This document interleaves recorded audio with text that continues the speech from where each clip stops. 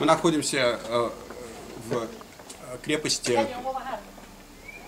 Кастию де э, Хагуа.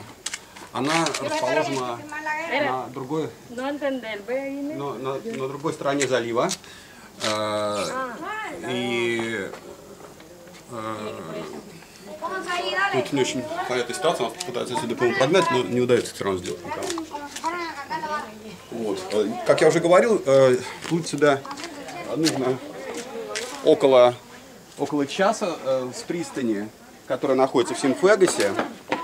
А крепость, на самом деле, сейчас, как всегда, на Кубе, э, репарасьон, ресторасьон. А, вот, тем не менее, довольно интересно. Здесь есть э, так, вот такие ядра, пушки. Это крупнейшее э, военное сооружение Кубы т- того места. Э, и э, э, крепость на самом деле сейчас э, находится под э, реставрацией и э, вот мы сейчас узнаем, куда можно пройти. Здесь, в принципе, открывается хороший очень вид. Дань, давай залезем, посмотрим.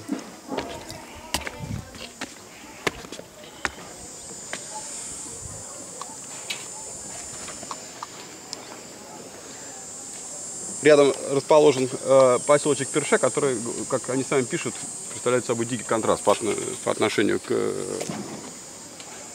количеству сооружению. Вот, ну такой маленький кусочек крепости.